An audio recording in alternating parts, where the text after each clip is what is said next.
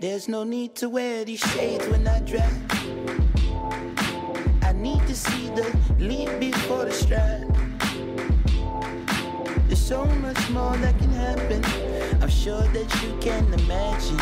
I live around here. Let me show you how to walk it, stop the traffic. Say, say, them two legs to get you right for action, but good brain. They get you all the answers. Okay, hello everyone. I'm Marina and today we're in New York at the Black Barn restaurant and next to me is Jeremy Jacobitz. Yes. Well, if you don't know, Mm-hmm. he's the man behind Instagram account called Brunch Boys. Hello Jeremy. Hi, how are you? Thank you so much for being here with No, us. thank you for coming to New York to come see me. Yeah. So let's talk about business. Yes. So you're having free food, Yes. who pays money? right. I'm one of the few people that have taken off of work to do this. I think by far the majority, it's people that still have jobs. And this is just like fun for them and they get free food and it's whatever. I made the decision to do this full time. I knew that I wasn't just posting pictures on Instagram. Brunch Boys isn't an Instagram. It is, obviously, but it's not. The business is much bigger. We do videos, we have a website, we do events, we're doing things of brands. When it took off, I realized that it could expand way beyond Instagram and it could be a brand and it could be a media thing. And I love producing, that's always been my dream. I'm producing food content. My audience happens to be on Instagram. It's the same way of, of me producing food content, and at the time, my audience was Food Network. It's all the same. I needed to figure out if I'm gonna take off of work, I can't just go get free food. It doesn't pay my rent, it doesn't pay whatever.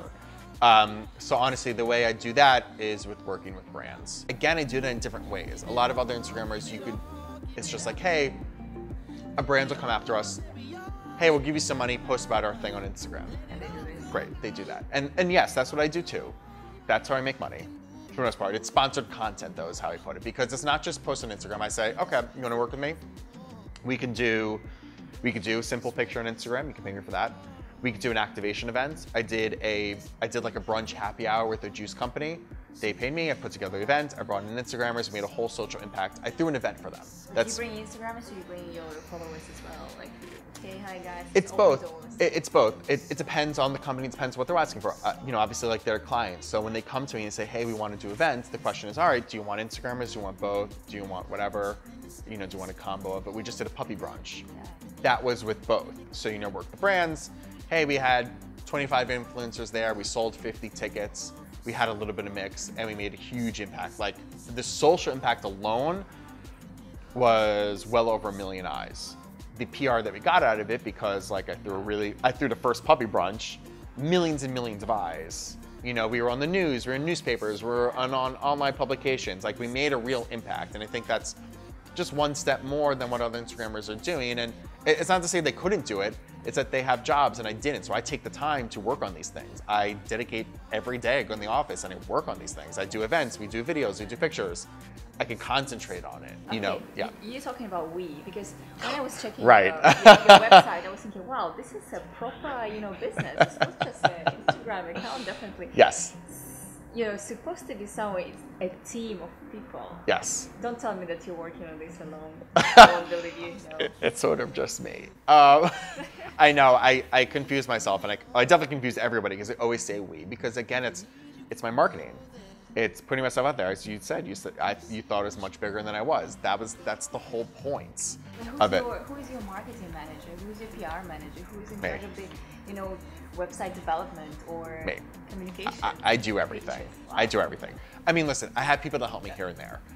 I have a lot of great friends and a lot of people that believe in me. And when people can help me, they help me. Exactly, and I think that's the. I think that's how I push myself different. Someone interviewed me the other day, and they wanted to. Um, they let me fact check the article, and they had me saying they, they had me saying, you know, Brunch Boys does a lot of sponsored posts for people, and that's how he's making money. And it, sponsored posts feels dirty. It feels like it, it doesn't feel like a business of sponsored posts. I'm like sponsored content. You know, we work with brands. I think that just puts out a different thing. Brands are used to working with people. They're not used to paying people to post on Instagram. So if I come to a bigger brand, I'm like, hey, we'll do a sponsored post. They don't understand that. They don't know how to, you know, they're they're so used to, hey, if we do marketing on TV, they know how to judge it. This is how many viewers it got. This is how we saw the sales go up. That's we justify giving millions of dollars or whatever it is. With an Instagram, it's like, all right, so like 8,000 people like the photo. Like, how do we justify that? When I think we say like sponsored content, and we, do, we even the videos help me, even the events help me, because that's more things they're used to paying for. So I think that's just another way to make myself different. I think it's all about being different. There's so many food Instagram accounts. Lots of people try and take advantage of us. Honestly, we, we uh, this is what I said. You know, I, I, I keep saying this. We have a real we have a real audience. We deserve real money.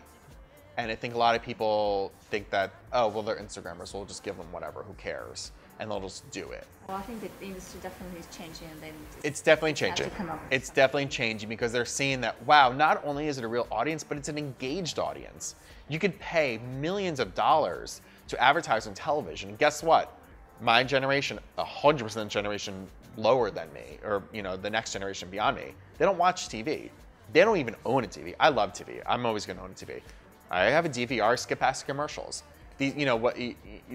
They're not even paying attention to it. Where when it's on Instagram, they're commenting on these ads. They're saying, "Oh my God! Like what? A, like that cheeseburger looks amazing. Oh my! I have to go to this restaurant. I have to go there." Like they're actually engaged with with the advertisement, which is way beyond it. To me, that's so much more valuable. I should be getting paid more than more than the people that are skipping over the commercials. I think that the, the brands aren't there yet, but I think I think it's changing. I think they're realizing that. Jeremy, do you think Instagram still will be like the number one for you uh, social network, or you already checking other social networks, like trying to put different I content? I think that I think that Instagram for me is always going to be number one. It's something like I thought it was. Okay, so you have more than two hundred thousand. Close, close. We're well. By the time I say ours, I'll have over two hundred thousand followers. So yes. But still, can you tell us, like, how do you see yourself in five years? How are you gonna end this journey? My goal is to continue to produce food.